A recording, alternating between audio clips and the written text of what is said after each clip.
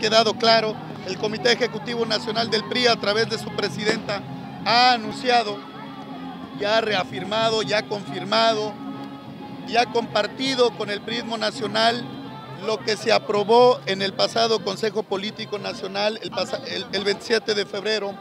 que será una elección de consulta directa a la base militante. Si el Instituto Nacional Electoral no puede realizar la elección por diversas circunstancias, el propio Comité Ejecutivo Nacional del PRI tiene los órganos, tiene las mujeres, tiene los hombres, tiene la experiencia, tiene el profesionalismo para llevar a cabo una, una elección transparente, equitativa, participativa. Así que estamos muy contentos, estamos muy contentos de que la militancia va a decidir a la nueva dirigencia nacional y allí estaremos para fortalecer, para construir y para unir a nuestro partido.